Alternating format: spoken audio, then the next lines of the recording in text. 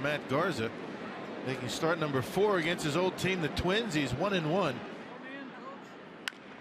Rolls over one. Sardinas will make the play and a good start for Matt Garza.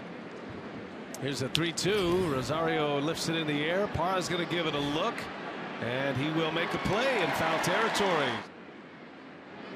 Like that tempo and he powers a fastball right by him his best bullet of the day Garza hits 94 not give the hitter too much credit. Another one barrels in there at 94 and Segura's got this one and the inning is over.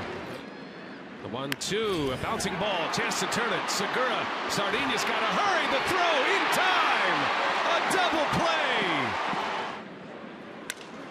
Up the middle Segura Range is over, flips to Sardinas for the out. Excellent play by Jean Segura. Your hands back in position. There's a swing and a miss. Garza took something off and Hicks strikes out. Swing and a foul tip. Lucroy caught it with his bare hand. It hit the glove first and then Lucroy able to secure it. That's a great play by the Brewer catcher. Matt Garza through seven innings.